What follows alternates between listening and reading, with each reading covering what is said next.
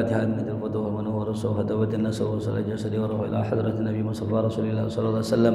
ثم إلى شيخنا مؤلف هذا الكتاب شيخنا الحبيب علي بن مسلم هارون ثم إلى شيخنا الحبيب علي بن محمد الحبسي ثم الحبيب علي بن الرحمن الحبسي وثم إلى الحبيب علي بن حسين رضا ثم الحبيب علي سالم بن أحمد جنان ثم إلى الحبيب أحمد بن حداد ثم إلى الحبيب عبد الرحمن بن عبد الله الحبسي ثم إلى الحبيب عمر بن محسن رضا ثم إلى الحبيب Ahmad bin Al-Haddad summa ila Habib Abdurrahman bin Ahmad Segaf wa summa ila Habib Ali bin Abdurrahman Segaf wa summa ila Syekhina Al-Imam Yahya bin Syaraf An-Nawawi wa summa ila ya marhum Ki Haji Usman Syarif wa usulihim wa furrihim wa summa ila Syekhina Muallim Syafi Azami وثم إلى أستاذنا كي حجي عبد الحميد حسين ووصولهم وفروهم من الله تغشى بالرحمة والمغفرة وإنفعنا بأسرارهم وأنوارهم وعلومهم في الدين والدنيا والآخرة سر الفاتحة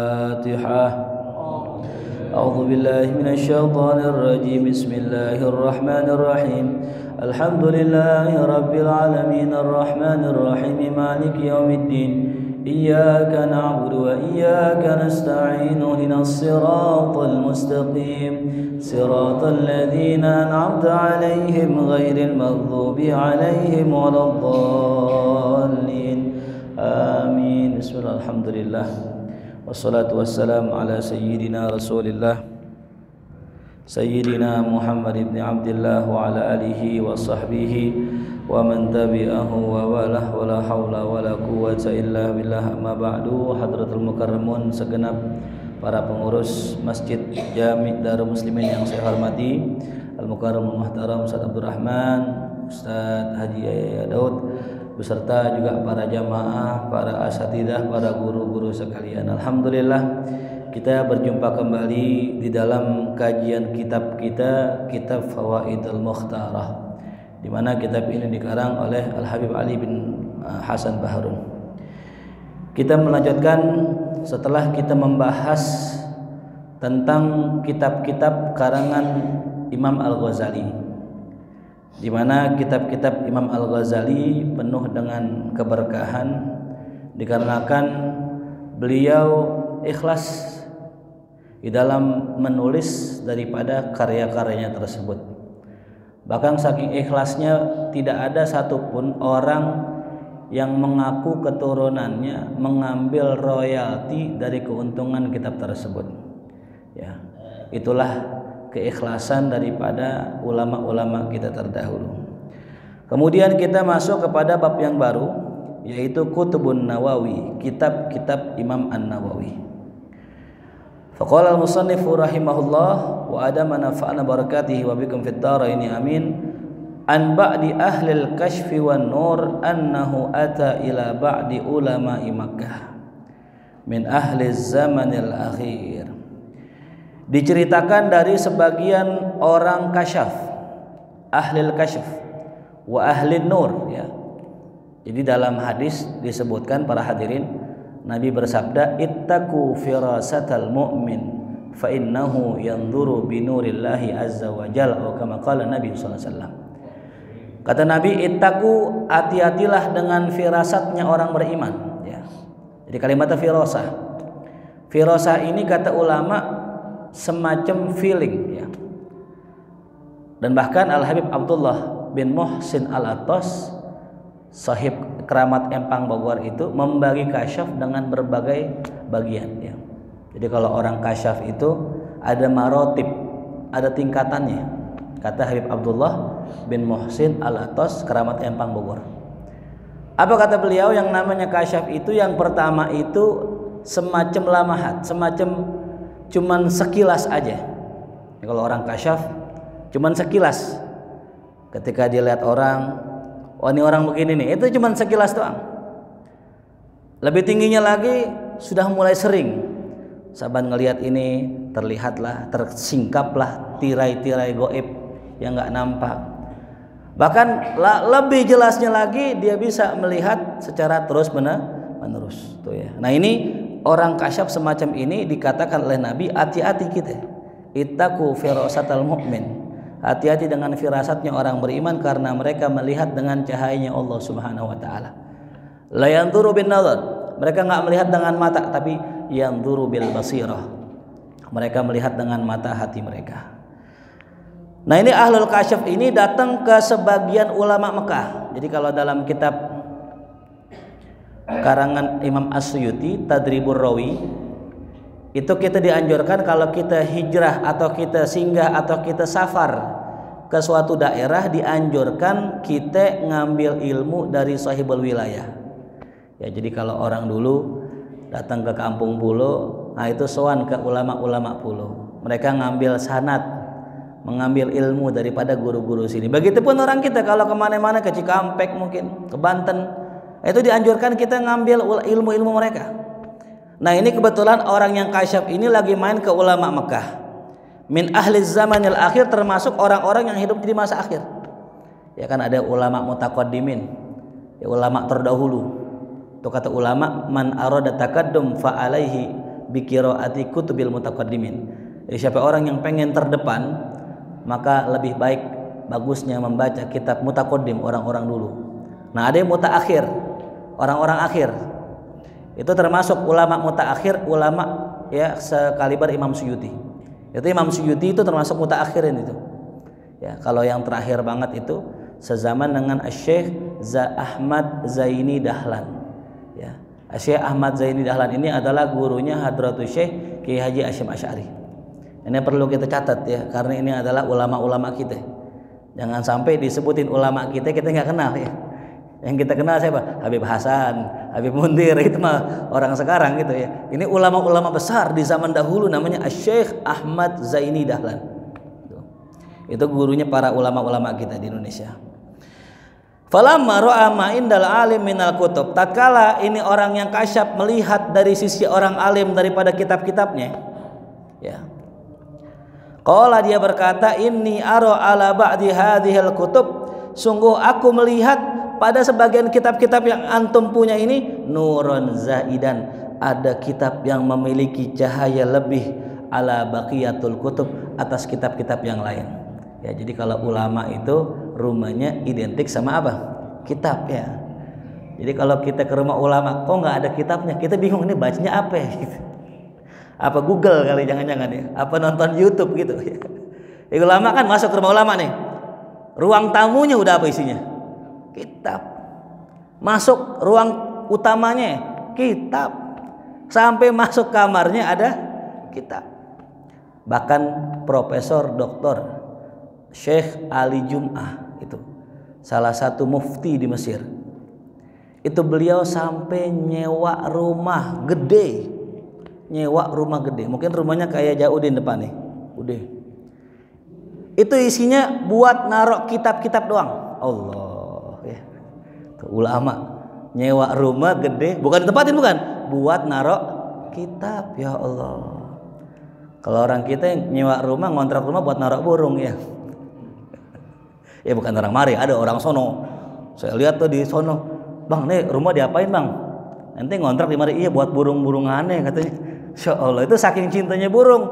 Sampai burung aja disewain rumah. Sama orang cinta kitab sampai kitab aja disewain rumah sama orang cinta bini. Bini kedua man. Sampai disewain ruh rumah tuh ya. Makanya kata guru saya ente jangan sampai istiqomah. Lo kok istiqomah apa bib istri tiga dikontrakin rumah gitu. Katanya jadi dia lihat di rumahnya ada kitab. Kitabnya bercahaya ya. Tuh kitab ulama bercahaya. Tapi ada beberapa kitab yang dipunya itu lebih terang cahayanya ketimbang kitab yang lain. Subhanallah tuh. Faqala lahul alim maka berkata orang alim tersebut, "Kum ilal kutub." Coba ente bangun. Ambil kitab yang mana yang menurut antum terang. Wandur, lihatlah wal takit. Pungutlah mataro alaihi nur zaid apa yang kau lihat padanya akan cahaya yang lebih terang mina hadil kutub dari kitab-kitab yang lain. Wa akhrijhu min bainihinna keluarin sampai ane lihat tuh kitabnya faqama rajul maka lelaki itu berdiri. Fa akhraja ma arad kemudian dia keluarkan apa yang dia hendak ya mengambil mintilka dari kitab tersebut. Hatta lam yubki syai'an sampai enggak tersisa. Tuh diturunin atau tuh atau diturunin tuh atau atau kitabnya. Fana fi tilkal kutub kemudian dilihat kitab tersebut. Fa hiya jami'uha maka tiba-tiba tuh semua kitab yang tadi diambil musannafatu sayyidina al-imam Muhyiddin Yahya ibn Syaraf An-Nawawi. Maka tiba-tiba dilihat ternyata semua buku yang diturunin adalah bukunya Al-Imam Muhyiddin Yahya ibn Syaraf An-Nawawi. Punya kitabnya Imam Nawawi. Subhanallah. Jadi namanya Imam Nawawi Muhyiddin. Itu gelarnya. Yahya namanya. Namanya siapa? Yahya. Yang namanya ulama memang dari dulu begitu. Orang lebih kenal gelarnya ketimbang namanya. Padahal namanya siapa? Yahya. Ya. Ibn Syaraf ya anaknya Bapak Syaraf An Nawawi orang Nawa nah ini yang perlu kita bahas ya jadi kalau ulama dulu nama namanya itu kadang terkenal dari nama kotanya contoh Syekh Nawawi Al Bantani Wafi ba'din nusakh dalam riwayat yang lain nasakh yang lain Al Jawi jadi ada yang mengatakan Syekh Nawawi Al Jawi, ada yang mengatakan Syekh Nawawi Al Ban Tani. Jadi kalau kita pengen namain anak kita, ya boleh dengan nama Imam Nawawi. Siapa namanya tadi? Yahya. Ya. Di Quran ada lagi. Ya Yahya khudil kitaba biku. Di Quran ada. Ya. Ada lagi orang yang namain Bishir Al-Hafi. Kata Al-Hafi dalam bahasa Arab maknanya orang yang naplak. Jadi kalau misalnya kita namain orang al-hafi ya, itu artinya apa? Ya? Naplak, pantas main layangan nggak pakai sendal mulu. Namanya apa? Ya? Al-hafi. Tapi kalau kita menamai anak kita mengikuti orang Arab tersebut nggak masalah ya. Tuh, Bishir Al-Hafi. Nama anak kita siapa? Bishir Al-Hafi. Cuman ada yang lebih unik lagi. Hatim Al-Asom Hatim al Asom seorang sufi, wali min. Artinya apa? Hatim yang tuli. Jadi kalau kita namain anak kita Asom nanti takutnya apa? Ya, makanya kalau kita mau namain nama anak kita dengan nama ulama, tahu dulu artinya gitu, nanya ustadz ya. Pernah ada yang nanya gitu. Ada yang namain anaknya, Ustadz, saya namain anak saya Syekh Ali Baros. Uh, Syekh Ali Baros ditanya kan nanya Ustadz, Bagus kan namanya Syekh Ali Baros? Kata Ustadz itu, wah Baros hati-hati tuh. Baros itu penyakit belang. kan kalau kita berwudu dengan air musyammas, ya, itu ntar kena penyakit apa? Baros. Akhirnya pulang dah tuh, pengen ganti kakak katanya pengen ganti apa? E, akte. Karena udah kadongan bikin akte, namanya Syekh Ali Baros. Datanglah ke rumah, nanya, Ustadz, saya minta solusi nih saat nih solusi kenapa anak saya saya namain saya Ali Baros pas saya tanya Ustadz kata Ustadz tuh penyakit belang artinya ya saya disuruh ganti saya bingung sebentar sebentar ya. Ente namain si Ali Baros Baros itu Baros apa? Itu muridnya Sahibur Ratib Habib Abdurrahman Bia bin Habib Umar bin Abdurrahman Alatos. Muridnya si Ali Baros. Oh itu. Itu mah baros bukan pakai sod. Itu baros pakai sin. Baknya panjang ro sin baros. Itu namanya marga hadromi. Orang-orang Harap hadromot namanya itu. Baabut ya basaudan baros ya bamakromah itu namanya marga bukan nama penyakit oh gitu saja alhamdulillah untung aneh nanya antum kalau aneh nggak nanya nama akta anak aneh udah ganti lagi tuh ya Jelas paham ya? Makanya kalau nanya bahasa Arab, ame yang ngerti bahasa Arab. Kan kadang-kadang Ustadz nggak semuanya ngerti bahasa Arab ya gitu. Ada Ustadz kan kalau kata orang ada Ustadz tutur ya. Ustadz tutur itu suka ceramah. Ya ada Ustadz catur. Apa itu Ustadz catur? Ustadz yang main politik. Ya ada Ustadz ya sembur. Nah itu Ustadz tukang air, Ustadz sembur dan terakhir ada ustadz ustadz ngawur gitu ustadz nggak pakai ilmu tuh ya nah kemudian dalam kitab al-kirtos syarah ratib al-atos jadi kitab ratib itu udah disyarahin sama ulama Anis Syekh Al-Faqih Abdullah bin Umar Ba'abbad no, Ba'abbad dari Al-Syekh ya, Al-Faqih Abdullah bin Umar Ba'abad annahu sa'ala Syekh Al-Kutub Umar bin Abdurrahman Al-Atos. Ya. Jadi suatu hari ya Syekh Al-Faqih Abdullah bin Umar Ba'abad nanya kepada Syekh Al-Kutub Umar bin Abdurrahman Al-Atos. Ini perlu kita tahu ya. Di dalam kitab Jami'ul Usul fil Auliya itu dijelaskan tentang marotibul aulia, tingkatan-tingkatan wali. Bahkan dalam kitab yang sama juga disebutkan wali terbagi tiga. Yang pertama wali annahu la ya'rif annahu wali walakin nas ya'rifuna annahu wali. Ada wali modelnya dia nggak kenal dirinya wali tapi orang kenal dirinya wali. Ada wali model begitu. Yang kedua annahu ya'rif annahu wali. Dia tahu dirinya wali. Walakin nas la ya'rifuna annahu wali tapi orang nggak tahu dirinya wali. Ya, ada wali model begitu. Dia tahu dirinya wali. Kalau yang dia nggak tahu dirinya wali tapi orang tahu itu eh, Syekh Abdurrahman Bajalhaban yang punya bini super galak. Ngomel mulu tiap hari. Saking galaknya dipengang kupingnya dia kabur akhirnya dari rumah dia berkholwat. Ketika masuk ke dalam goa berkholwat karena kabur dari bininya yang galak orang-orang rame. Ternyata pada kholwat juga para sufi. Nggak kerja nggak nyari makan cuman selalu dikirimin makan. Gara-gara tawasul kepada nama-nama wali ya akhirnya giliran dah tuh lu hari ini tawasul ya minta rezeki dia tawasul nah pas giliran Syekh Ahmad Abdurrahman Jalhaban ini dinanya emang biasanya tawasulnya gimana oh tawasulnya kita ada nama seorang wali dia tinggal di kota dekat sini. Namanya Abdurrahman Bajalhaban.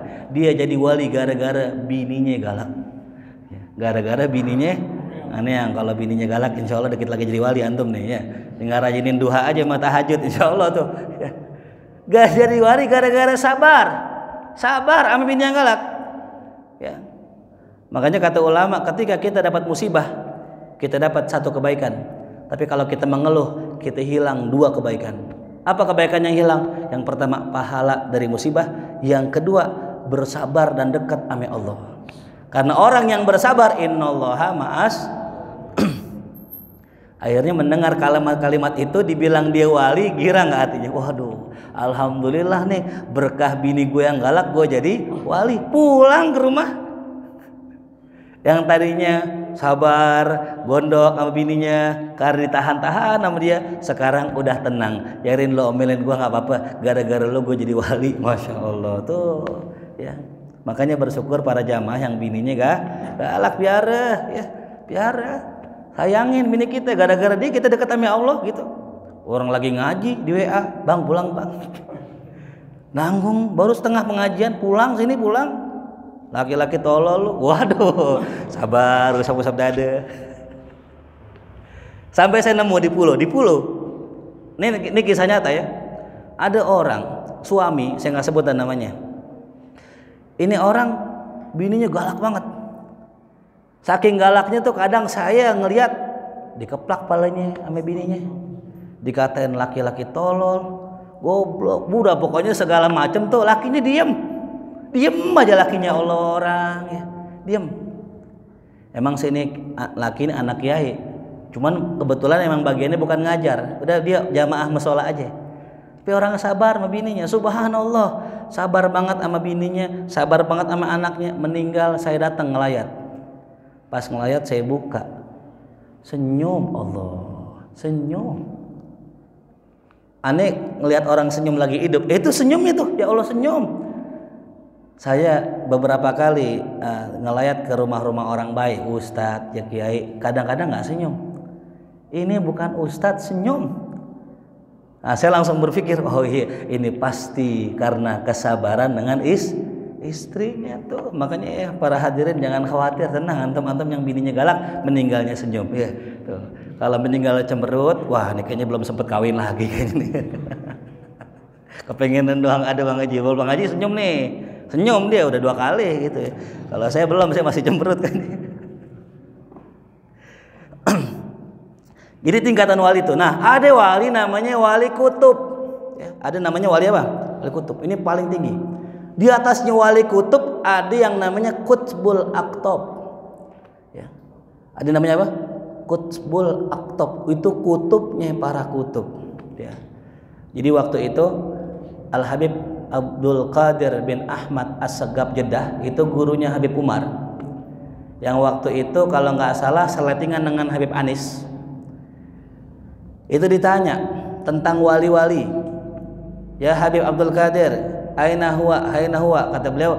Kullul auliya tahta qadami. Setiap wali di bawah kaki saya. Illa Umar bin Hafid kecuali Habib Umar. Ya kata beliau huwa tahta qadami Rasulillah. Dia langsung di bawah kakinya Rasulullah. Makanya nggak heran kalau kita ngelihat Habib Umar begitu luar biasa. Wibawanya, haibahnya, karomahnya, masya Allah itu karena di bawah kakinya Rasulullah. Dan ditanya tentang guru sekumpul. Bagaimana guru sekumpul? Ini kebetulan haulnya kemarin apa belum ya?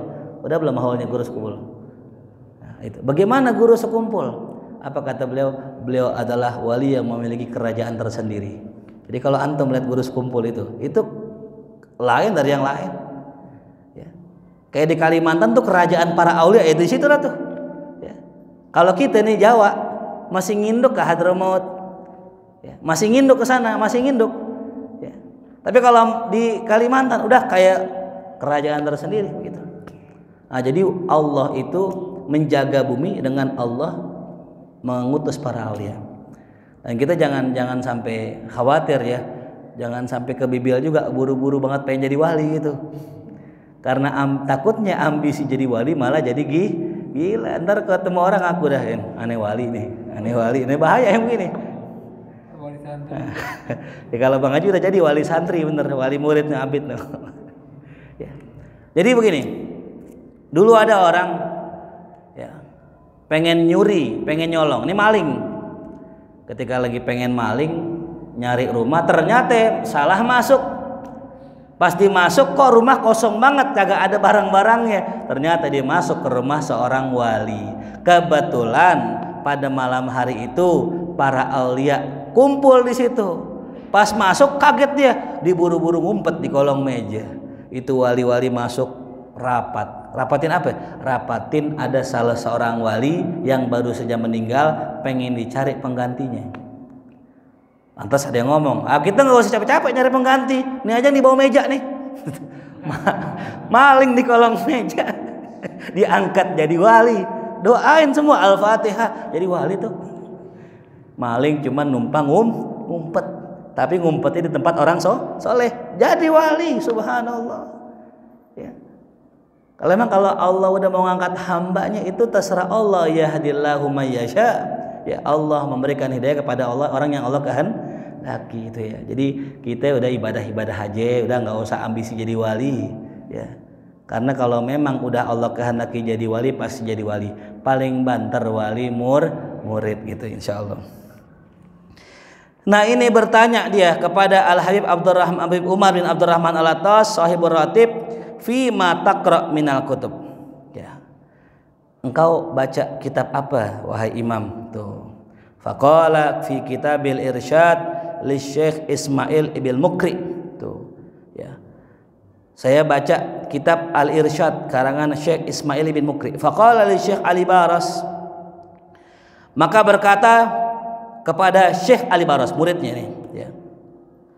Kalau ame Syekh Abdullah bin Umar Ba'abad bacanya kitab Irsyad. Tapi kalau kepada Syekh Ali Baras beliau katakan apa? Ya Ali akrihu fi kitabil minhaj li Syekh Nawawi itu. Wahai Ali Baras, bacain dia kitab Minhaj karangan Imam An-Nawawi. Jadi Imam Nawawi itu punya kitab namanya Min Minhaj yang dikenal dengan nama panjangnya Minhajut Talibin wa Umdatul Muftin ya. Nah, itu kitab tingginya tingkatannya itu di atas Fathul Muin.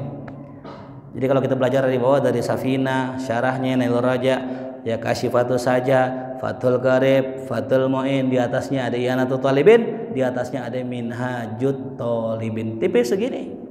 Kitabnya nggak tebal cuman disyarah ame ulama ya dengan nama Nihayatul Muhtaj, Mughnil Muhtaj ya dan sebagainya itu. Wa akrihu jami'a ashabika fihi. Nah, dan bacakanlah seluruh sahabatmu kitab itu. kata Al Habib Umar bin Abdurrahman Al Attas fa innahu mubarak karena kitab itu penuh dengan keberkahan wal fath dan mengandung futuh ini penting kita ngaji ya orang-orang ngaji ilmu kadang-kadang faham tapi belum futuh. Ngerti tapi belum paham gitu.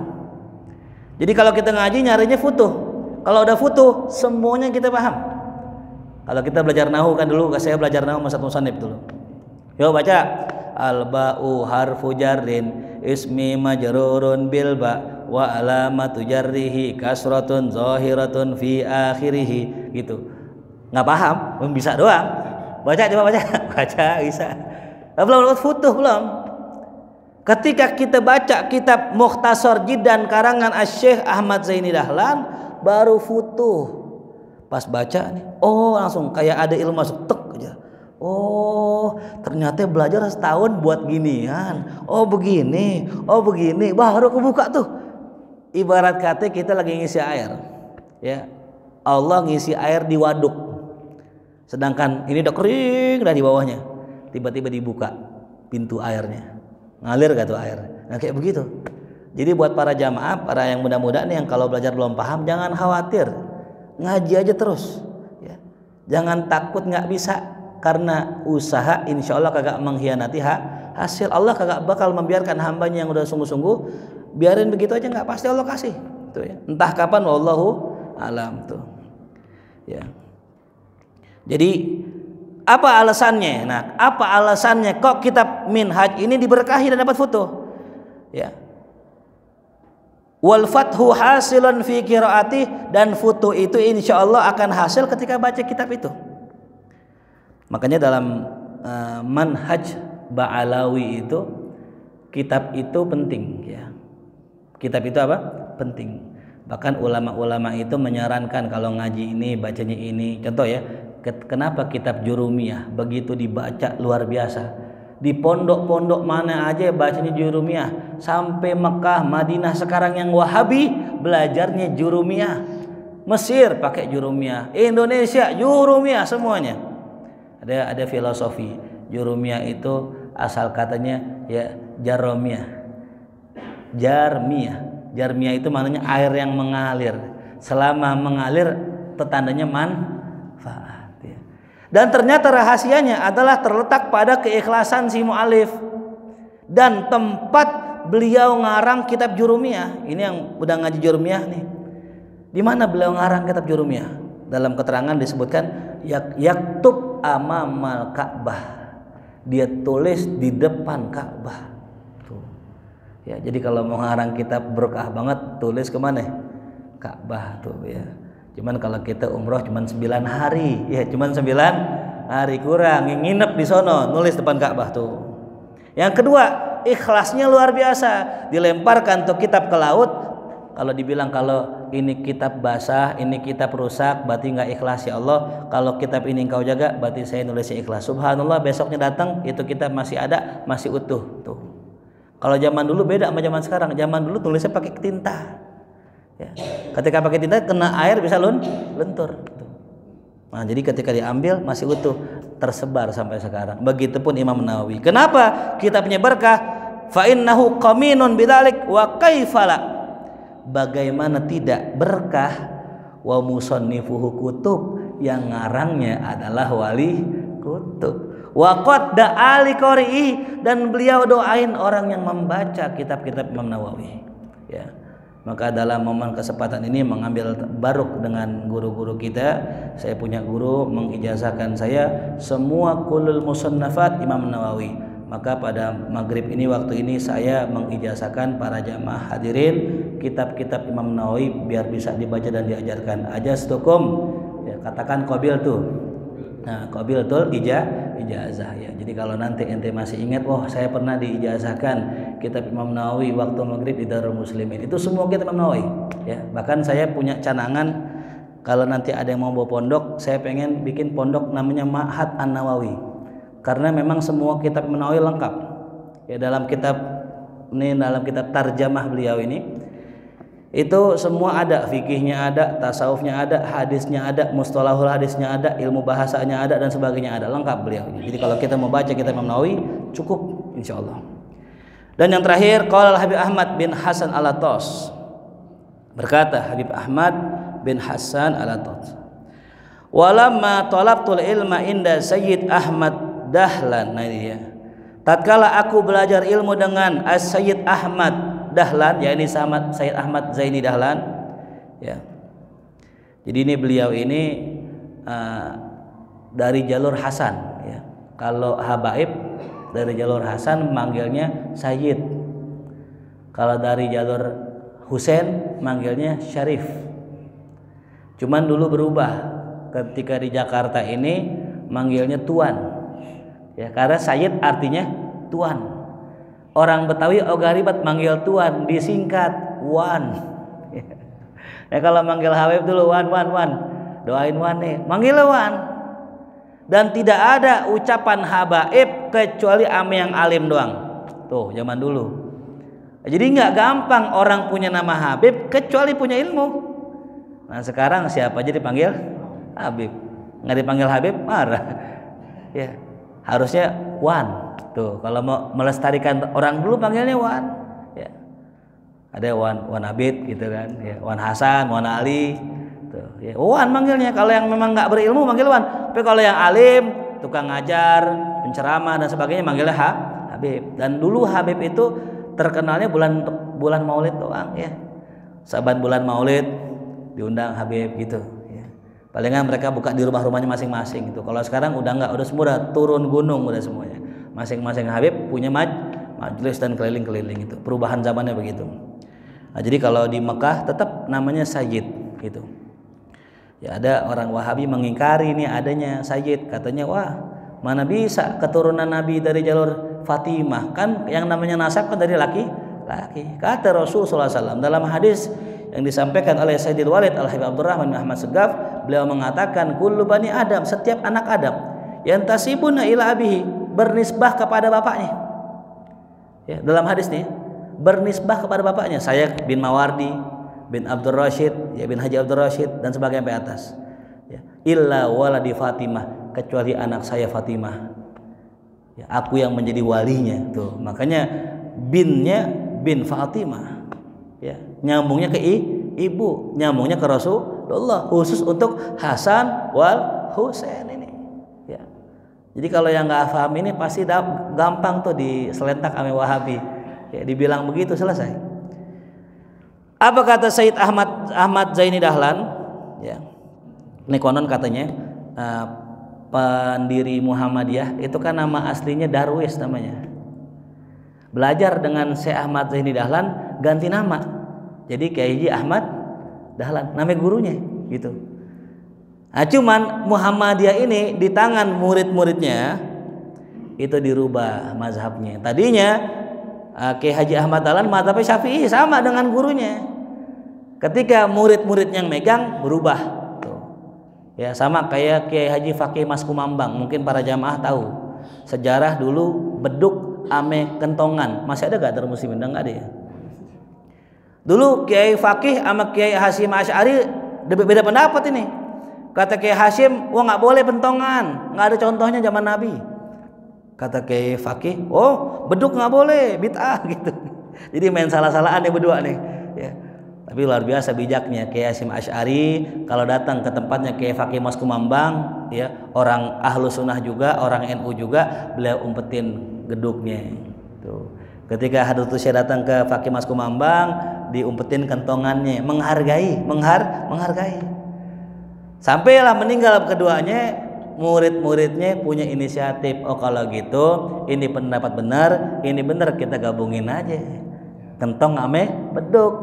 Makanya kita tok tok tok tok tok tok tok tok atau kayak fakih dung dung dung dung dung dung itu tuh saya gabung gitu ya. ya kan enak jadinya. Ya, bijaknya ulama adalah bisa menggabungkan pendapat. I'malud dalilain kata ulama fikih ah, apa afdalu min min ihmali ahadihima menggabungkan dua dalil lebih afdal daripada membuang satu dalilnya tuh ya. Nah dia belajar kepada Syekh Ahmad ini dalam berkata, "Utika faidah." Kata gurunya, "Nih, aneh mau ngasih faidah buat ente, ilmu buat ente." Tuh. Inna Syekh Ibn Hajar hafizal minhaj. Sesungguhnya Syekh Ibn Hajar Al-Haytami itu muridnya pengarang kitab Fathul Muin itu hafal kitab Minhaj. Minhajut Talibin karangan Imam Nawawi. Wa Syekh Romli menghafal Bahjah namanya Bahjatul Talibin karangan ulama lain Fabarakallahu fi kutub Ibnu Hajar maka Allah memberkahi pada kitab-kitabnya Ibnu Hajar dan memberikan manfaat dengan kitabnya lebih banyak daripada kitabnya Imam Romli tuh. Makanya Allah kasih Ibnu Hajar lebih banyak manfaat dari kitab-kitabnya. Kenapa? Karena Ibnu Hajar hafal kitabnya Imam Nawawi tuh. Makanya ulama dulu banyak nyuruh kita hafalin arba'in Nawawi. Kalau bisa panjangan dikit Riyadus Solihin. Itu di Hadramaut di Habib Umar Darul Mustafa. Itu hafalannya Riyadus Solihin. Kalau kita kan lihat ada jiper ini tebalnya. Ya, beli tenabang sono toko Idrus kan segini tebalnya. Kalau arba'in segini ya tipis banget nih enak tuh. Jadi keberkahan itu berpengaruh dari kitab. Makanya di pondok saya ya kita belajar ada dua. Pertama kitab mutaakhir, kitab kontemporer muasir. Ya, yang kedua kitab orang-orang dulu. Kenapa kitab orang dulu kita pelajarin? Berkahnya. Kenapa kita pelajarin orang kitab sekarang? Gampangnya. Kitab orang sekarang gampang-gampang. Ya. Karena orang sekarang ngelihat nih ulama sekarang atau kalau gua kasih susah pada berhenti ngaji nih. Coba lah kita ngaji nahu ya. Malam pertama 30 orang, malam kedua tinggal 10 malam ketiga privat udah tinggal sendiri itu iya bener gak cek di pulau mana pengajian nahu yang tahan lama ya. kenapa karena pakai metode orang dulu orang dulu pinter-pinter orang sekarang udah kurang pinter kurang sab sabar tuh ya Makanya dicarilah kitab-kitab kontemporer biar mereka gampang pahamnya. Nah nanti baru diajarkan kitab-kitab yang begini biar dapat barokahnya. Nah perlu kita tahu Imam Nawawi ini seorang wali yang punya banyak karomah. Wamin karomatihi di antara karomahnya dalam riwayat disebutkan bahwa suatu hari ada seorang ulama bermimpi. Ya, ulama bermimpi, bermimpi ada seorang wali mengabarkan kepadanya bahwasanya Imam Nawawi diangkat jadi kutub malam ini. Masya Allah. Jadi kalau kata ulama sih kalau yang namanya wali kutub nggak tahan lama umurnya. Imam Nawawi konon katanya cuma 16 hari. 16 hari. Saking beratnya. Nah, kalau Imam Haddad ini luar biasa, sampai 30 tahun jadi wali kutub. Kemudian nih orang bangun Kemudian fastaikotu min manami tiba-tiba dia masuklah ke kota Damaskus untuk suatu hajat lagi ada perkumpulan di tempat. Ya, ini di Daril Hadis ya. Kemudian dilihatlah seseorang di tengah-tengah yang lagi dikerubungin. Ah, ini orang yang dimimpi aneh nih. Gitu. Nah, Imam Nawawi lagi ada orang banyak, tiba-tiba beliau melihat ke arah orang yang ngimpiin dia. Tiba-tiba disamperin. Ya, disamperin langsung dikata begini uktum ma'ak wala tuhaddits bi ahad. Udah ente jangan ngomong sama siapa-siapa. Ya uktum ma'ak diam aja sembunyikan apa yang ente tahu. Jangan ngomong sama orang tuh bahwa dia pada malam semalam itu baru diangkat menjadi wali kutub oleh Allah. Kapan diangkat menjadi wali? Malam nggak ada wali diangkat illa di waktu malam nggak ada Makanya kalau mau jadi wali malam begadang. Ya, pagi tidur terserah. Yang jelas malamnya begadang. Seandainya ada tukang bakso lagi bikin bakso, tukang cilok lagi bikin cilok di malam hari. Nih malam mau tidur semua. Nih yang tukang cilok jadi wali. Ya, seandainya.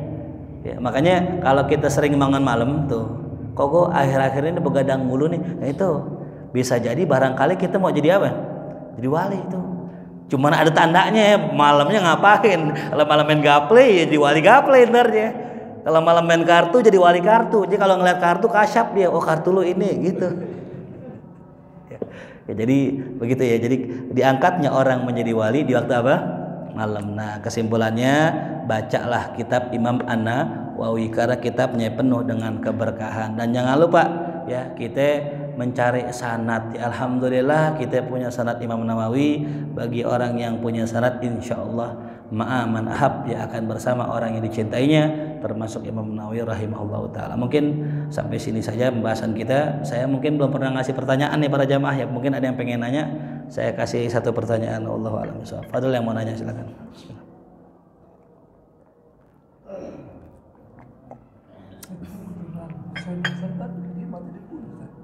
Hmm, baik. Keturunan Sayyidina Hasan wal Husain mati dibunuh. 6. Kalau Sayyidina Hasan banyak. Karena Sayyidina Hasan Sayyidina Hasan meninggalnya diracun. Anak-anaknya selamat.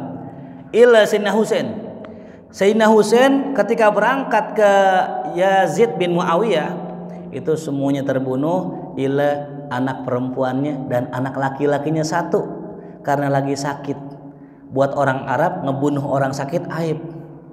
Kata saudaranya, "Eh, ente jangan bunuh dia, dia lagi sakit." Namanya Ali Zainal Abidin Asajad. Dari satu inilah selamat Imam Uraidi, Ja'far Sodik, Bagiran sebagainya semua dari situ, ya.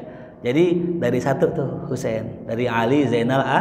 Kalau seandainya dia nggak sakit, kebunuh nggak ada itu. Sekarang habaib yang kita kenal nggak ada. Ya, tapi subhanallah selama Allah ingin menjaga ya di kandang macan selamat. Allah jagain Nabi Musa di kandang macan, di kandangnya Fir'aun. Allah ngasih contoh begitu tuh unik ya. Kalau Nabi Musa selamat di hutan ngumpet wajar. Allah ngasih contoh nih kalau orang udah Allah gue jaga kata Allah jangankan di ngumpet di kandang macan di mulut macan selamat Nabi Musa. Bagaimana dengan cucunya Rasulullah Sallallahu Alaihi Wasallam? Pasti dijaga Allah Subhanahu wa taala. Mudah-mudahan kita doakanlah kita bisa senantiasa berjalan di masalah mereka, di jalan mereka. Mudah-mudahan kita semua yang sudah ngaji dengan para habaib berikan istiqomah oleh Allah Subhanahu wa taala, berikan barokahnya. Mudah-mudahan kita doakan yang sedang sakit, semoga diangkat penyakit Allah Subhanahu wa taala khususnya untuk Pak RT kita, Bapak Hidayat yang sedang sakit, yang masih terbaring di rumahnya kita doakan semoga Allah berikan kesembuhan, kesehatan, keafiatan ke semua para jamaah yang sedang sakit kita berikan kita doakan semoga Allah berikan kesehatan keafiatan dengan segera Allah angkat penyakitnya Allah angkat derajatnya Allah angkat segala galanya Allah hadihinnya Al-Fatihah A'udzubillahi minasyaitonir rajim Bismillahirrahmanirrahim Alhamdulillahirabbil alamin. Arrahmanir rahim maliki yaumiddin. Iyyaka na'budu wa iyyaka nasta'in. Shiratal mustaqim. Shiratal ladzina an'amta 'alaihim ghairil maghdubi 'alaihim waladdallin. Amin. Allah bihaqqil Fatihah sirril Fatihah karamatil Fatihah iftah lana abwabal khair wa akhtim lana bil khair. Waj'alna wal hadirin min ahli الخير ربنا آتنا في الدنيا حسنة وفي الآخرة حسنة وقنا عذاب النار. صلى الله على سيدنا محمد وآله وصحبه وسلم. والحمد لله رب العالمين. يا ربنا اعترفنا بأننا اقترفنا وأننا أسرفنا على لظى أشرفنا. فتوب علينا توبة تغسل لكل حوبة واستر لنا العورات وآمن روعتي واغفر لوالدينا ربي ومولودنا. والآل وسائر الخلن وكل ذي محبة أو جيرة أو صحبة والمسلمين أجمع آمين يا رب اسمع فلان وجودا منا باكتساب منا الرسول نهضى بكل سلي صلى وسلم ربي عليه عد الحبيب وآله وصحبه عداد طش صحبه والحمد والحمد